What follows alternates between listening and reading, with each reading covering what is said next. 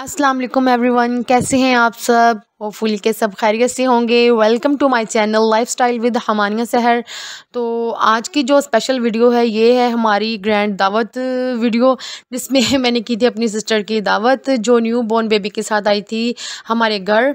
और जिसमें मैंने बहुत सारी डिशेस तैयार की हैं इस दावत में। फुल मेन्यू था हमारा ये आज का। तो जो मैं आप लोगों के साथ शेयर करूँगी और साथ में मैं दिखाऊँगी कि कैसे हमने किया था अपने न्यू बॉर्न बेबी का वेलकम। तो चलिए स्टार्ट करते हैं हम आज की ये वीडियो।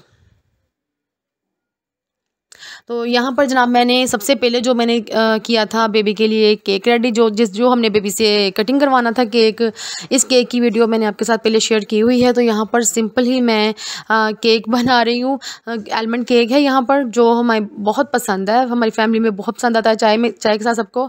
तो यहाँ पर सिंपल मैंने एलमंड केक बनाया है। इसकी रेसिपी मैंने आपको पहले अपने यहाँ यूट्यूब चैनल में लगाई हुई है तो आप वहाँ से देख सकते हैं। तो यहाँ पर मैंने सिंपल वही एलमंड केक रेडी किया था। तो जिसकी थोड़ी सी वीडियोस मैं आपके साथ शेयर कर रही हूँ कि जो जो चीज़ें मैंने अपनी ये इस व्लॉग में, अपनी वीडियो में बनाई है, वो। तो यहाँ पर सिंपल मैंने केक रेडी किया एक, और उसके बाद हम चलते हैं स्वीट डिश की तरफ़, जिसमें मैंने सबसे पहले बनाया कस्टर्ड, क्योंकि दावत में जो है ना, सबसे पहले जो चीज़ बनती है, वो है मीठा। तो खाते तो ये लास्ट में है, लेकिन बनता ये सबसे पहले है। तो यहाँ पर मैंने सबसे पहले कस्टर्ड बनाया, फ्रूट कस्टर्ड था हमारा।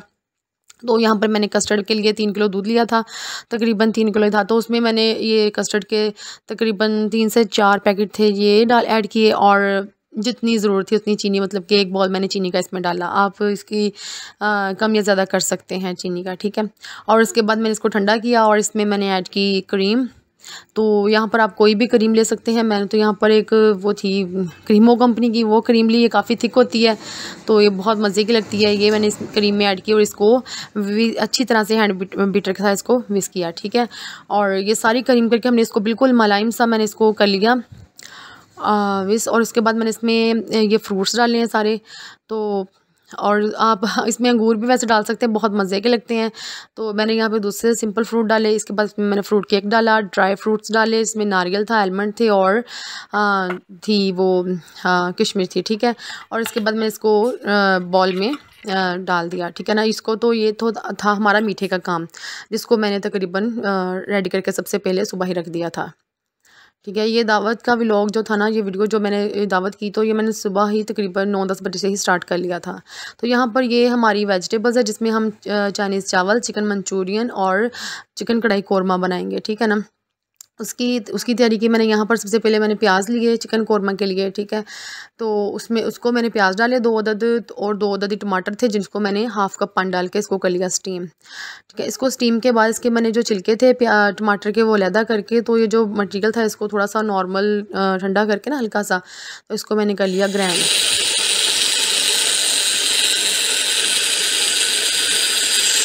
इसको मैंने ग्राइंड करने के बाद इसको मैंने कढ़ाई में डाला। इससे ना ये कौरमे का मसाला बहुत ही मज़े का बनता है, बिल्कुल स्मूथ सा। और इसके बाद इसमें मैंने ऑयल डाला, तकरीबन ये एक कप के करीब था ऑयल और चिकन है हमारा टू एंड हाफ़ के जी चिकन है। इसके बाद इसमें मैंने लेमन डाले, एक अदद लेमन को मैंने बारीक काट के डाला। अदरक, मिर्च और लहसुन का जो पेस्ट है, वो मैंने तकरीबन दो चम्मच भर के डाले इसमें। तो ये चिकन कढ़ाई कौरमे में ये, मैं यही चीज़ें यूज़ करती हूँ तो ये बहुत मज़े का बनता है स्पाइसी सा। ठीक है। यहाँ पर मैंने भर के वन टेबल स्पून नमक one tablespoon red chilli powder one और हाफ़ टेबल स्पून हल्दी और गरम मसाला हाफ़ टेबल स्पून और ज़ीरा पाउडर हाफ़ टेबल स्पून डाला मैंने। ठीक है? और इसको मैंने अच्छी तरह से किया मिक्स इसके बाद मैंने इसमें जो चिकन था तो उसको मैंने डाला। थोड़ा सा पानी डाल के इस मसाले की थोड़ी सी मैंने ग्रेवी बना ली। इसके बाद मैंने इसमें जो चिकन था वो मैंने वॉश करके रखा हुआ। तो अब अब ये मसाला भून लिया हमने उसके बाद मैंने इसमें डाला चिकन। चिकन को हमने अच्छी तरह से भूनना है इसको हमने यहाँ पर ऐसे ही बनाना है इसमें मैंने पानी ऐड नहीं करना। तो यहाँ पर इसको मैंने अच्छी तरह से ये जो मसाला है कौरमे का ये जो हमारा आ, सालन है इसको मैंने दही डाल के इसको अच्छी तरह से तकरीबन पाँच छः मिनट और भूना। इसको अच्छी तरह से भूनने के बाद इसको मैंने दम पे रख देना है ताकि ये ऑयल और वो मसाला थोड़ा सा ना वो हो जाए।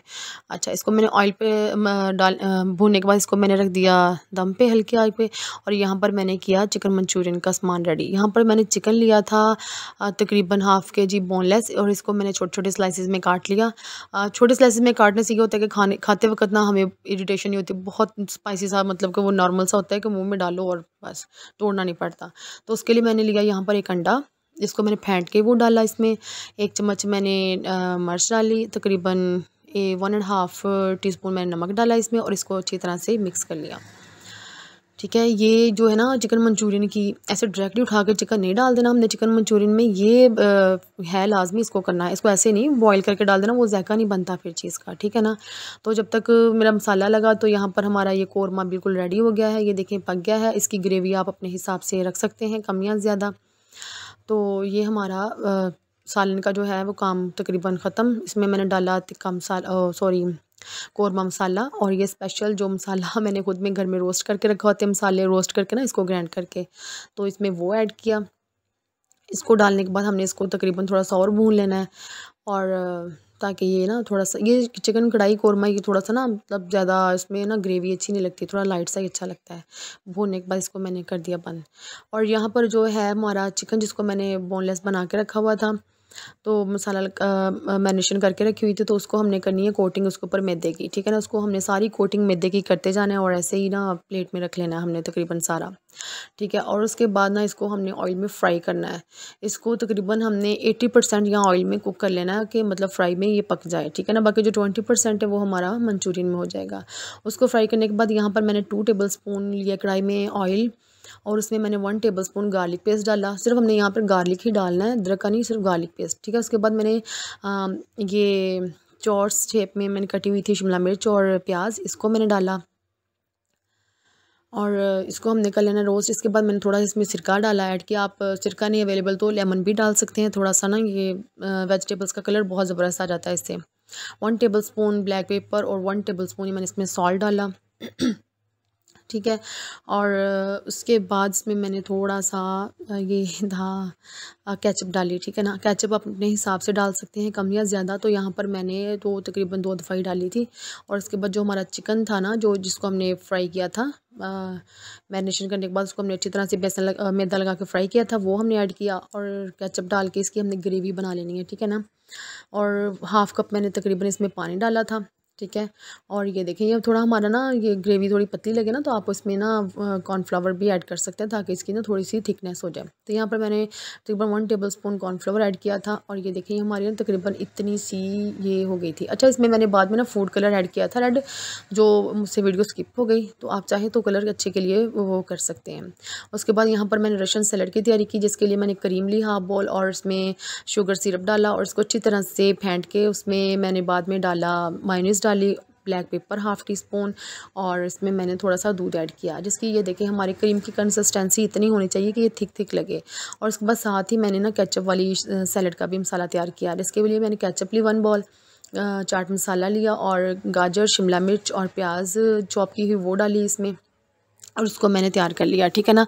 ये मैंने मटेरियल दोनों तैयार कर लिए हैं क्रीम वाली सैलड का भी और कैचअप वाली का भी। और फिर बाद में हम इनकी सिर्फ़ सिंपल मैंने कोटिंग करनी है ये चीज़ों के ऊपर, ठीक है? यहाँ पर मैंने सेब और लिए हैं आलू। तकरीबन एक जैसे शेप में कटे हुए, इसके ऊपर मैंने क्रीम ऐड की है। ये क्रीम हमने पहले बना के रखी हुई है, सारी मैंने एक दफ़ा ही, जो बस हमने चीज़ों के ऊपर लगानी है। अच्छा रशियन सैलड में ये सबसे ज़्यादा मज़े की चीज़ होती है, जो ये सेब और आलू का, ठीक है? उसके बाद हमने ये वेजिटेबल्स लिए हैं, खीरे हैं गाजर है और बंद गोभी है, जिसके ऊपर भी मैंने क्रीम की, ये की है कोटिंग ठीक है, इसको मिक्स करके रखा और उसके बाद सबसे इंपॉर्टेंट जो है, वो है बंद गोभी इस रशियन सैलड में।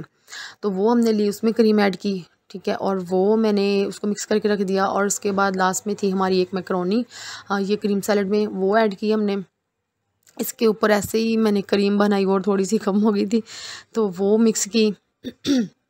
उसको भी हमने ऐसे ट्रे में लगा लिया, ठीक है, और उसके बाद मैंने जो था वो मकरोनी का था केचप का बनाया हुआ था, वो भी मैंने सेम ऐसे ही मकरोनी में डाला और ऐसे ही वो मैंने स्पैगडी ली, उसमें भी ऐसे मैंने ये केचप वाला मटेरियल डाला, ठीक है, उसको भी हमने ऐसे ही तकरीबन तैयार कर लिया और ये सैलड भी मैंने उसमें, शिमला मिर्च थी, इसमें गाजर और बंद गोभी थी, इसमें घीरे नहीं थे इस पर मैंने केचप लगा ली और लास्ट में मेरे पास चने थे, मैंने वो इसमें डाल दिए, आपके पास अगर लोबिया हो तो आप वो भी बॉयल करके लगा सकते हैं, लेकिन यहाँ पर दावत में मेरे पास ना टाइम बहुत कम था।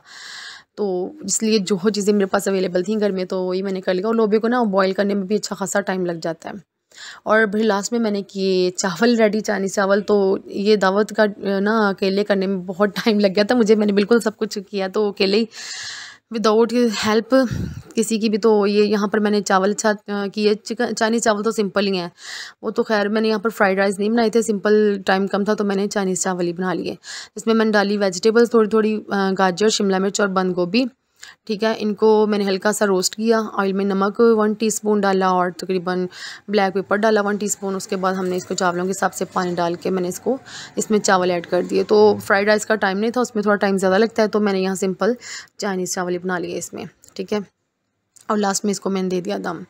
तो खाने के लिए टाइम बहुत कम था, इसलिए फिर हम जल्दी से मैंने इसकी वो की, इन सबको डिश आउट किया यहाँ पर ये चावलों को और इसके बाद चिकन मंचूरियन को। अच्छा यहाँ पर मैंने ना आपको बताया था ना पहले कि मैंने इसमें थोड़ा कलर ऐड किया था कैचअप का ना थोड़ा कलर लाइट लग रहा था। तो ये कलर ऐड करने से ना बिल्कुल वो बाज़ार जैसी लुक जाती है। बहुत मज़े का लगता है। और उसके बाद ये जो हमारा कौरमा था, इसको भी मैंने निकाल के रखा था छोटी देजकी में तो उसमें उसको मैंने किया रशियन सैलड। तो जनाब, ये हमने सारा खाना तो ये खाने की बस थोड़ी सी ही बना सकी मैं वीडियो, क्योंकि वो जब खाना लगा दो, फिर बस इतना टाइम ही नहीं होता। कि बस करें। तो फिर वो साथ ही हमने खाना स्टार्ट किया और फिर हमने बताया तो लास्ट में ये हमने, बेबी था हमारा, जिसकी हमने स्पेशल दावत की थी। बेबी ने तो कुछ नहीं खाया, वो तो साइड पे झूले में लेटा हुआ था। तो ये इसके लिए हमने झूला थोड़ा सा डेकोरेट किया मेरे बच्चों ने और बाद में हमने बेबी से केक की कटिंग करवाई। तो फ्रेंड्स अगर आपको मेरी ये वीडियो अच्छी लगी हो तो मुझे कमेंट में ज़रूर बताइएगा। मिलते हैं नेक्स्ट किसी अच्छी सी वीडियो में, तब तक के लिए अल्लाह हाफिज़।